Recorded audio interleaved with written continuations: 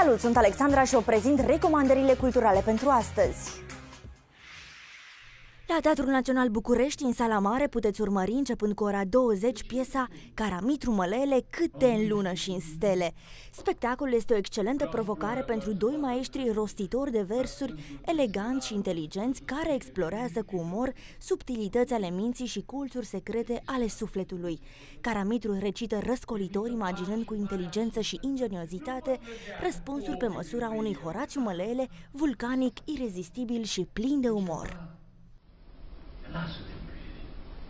Eu îți voi da pace. Dormi tu și lasă să rămân deștept. Pe când citesc, întotdeauna îmi place din când în când să cad la tine drept. De la ora 20 la sala mare a Palatului puteți asculta concertul oferit de corul și orchestra filarmonicii George Enescu sub bagheta dirijorilor Leo Husain și Iosif Ion Pruner. Înființat în anul 1950, corul filarmonicii George Enescu reprezintă al doilea pol muzical de anvergură al instituției muzicale bucureștene. Alături de corul și orchestra filarmonicii, soliști de renume vor întregi spectacolul de excepție.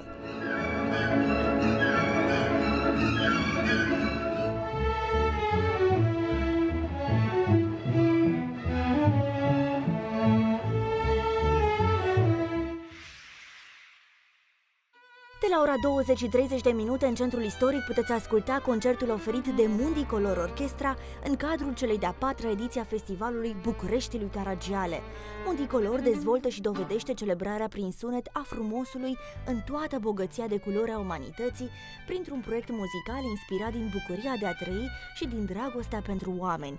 Trupa înseamnă o nouă filozofie a muzicii în care tradiția și experimentul se potențează reciproc pentru a sărbători umanitatea în toată diversitatea ei.